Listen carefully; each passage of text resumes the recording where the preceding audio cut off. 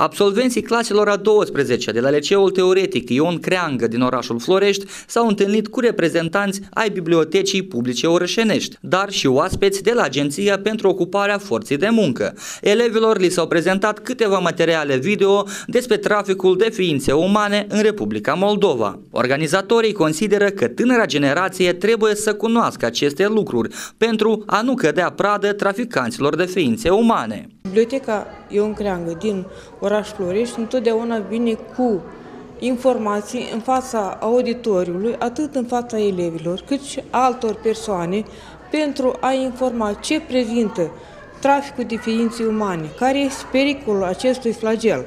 Și cu această ocazie, deci noi folosim și materiale video și materiale textuale pentru a preveni traficul de ființe umane din Republica Moldova. Păreri de rău, această uh, boală, să zicem, a secolului 21 uh, ia amploare și astăzi, în zilele noastre, când avem atâtea posibilități bune de a ne angaja în câmpul muncii, atât în Republica Moldova, cât și peste hotare. Astfel de întâlniri trebuie organizate mai des, pentru ca tinerii să fie cât mai informați la acest capitol, consideră eleva Maria Maniuc.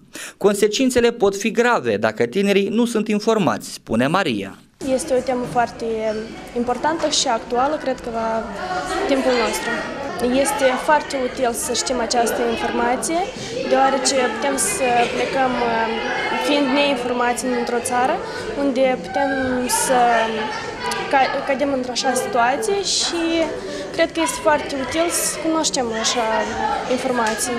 Șefa Agenției pentru Ocuparea Forței de Muncă din orașul Florești a povestit tinerilor că înainte de a pleca peste hotarele țării trebuie să cunoască toată informația despre angajator, ca locul de muncă să fie legal.